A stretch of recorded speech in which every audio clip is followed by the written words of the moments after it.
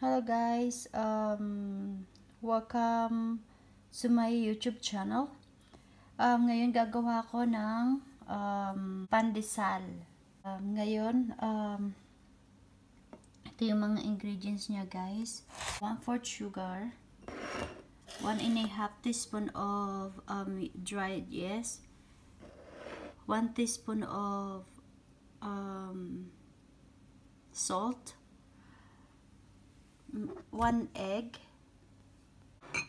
one cup of fresh milk, spoon of butter, and 3 cups of flour.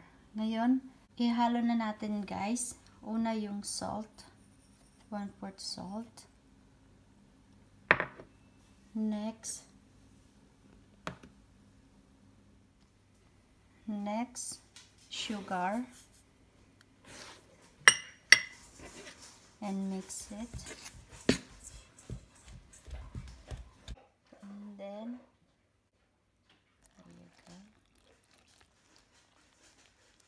cup of milk. Next egg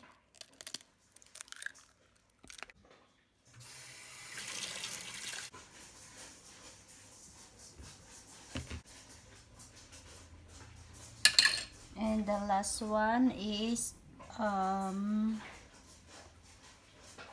yes. There you go.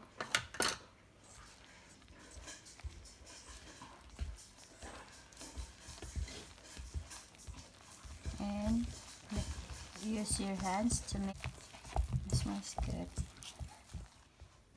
The ingredients is already mixed and then we need to wait 5 to 10 minutes.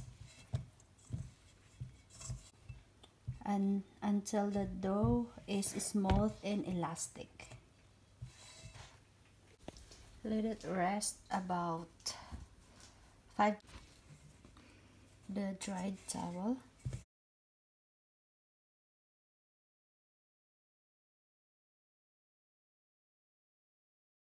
Okay na yung dough nag ano na siya, yung smooth.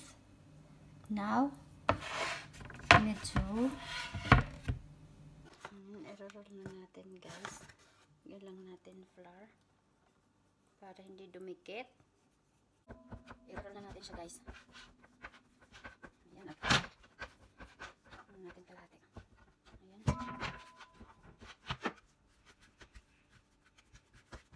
Very fluffy siya guys.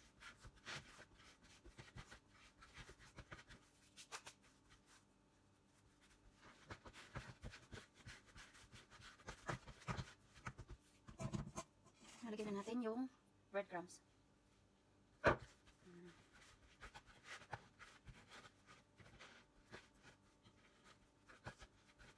Hmm. Gagamitin natin pangkat ng pandesal.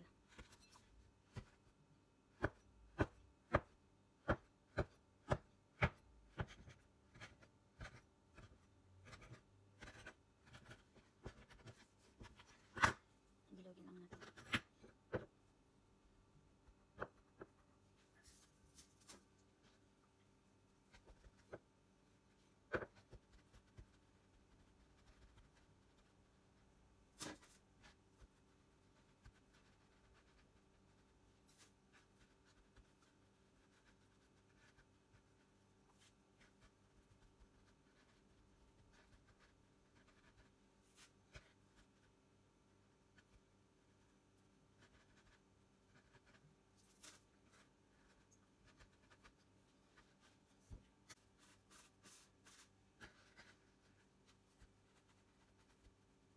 This is my first time to make this pandesal guys, so.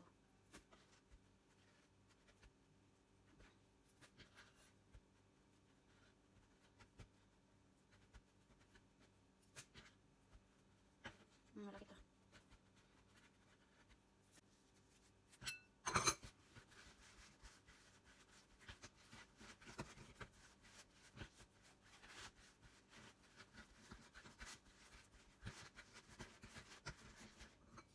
Hello, guys.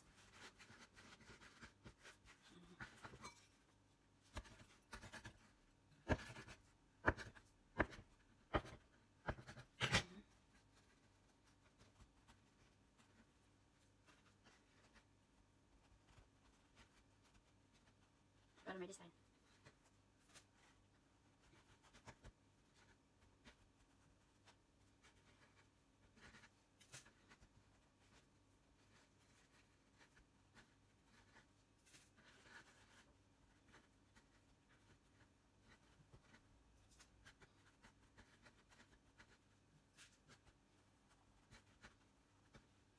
la semana.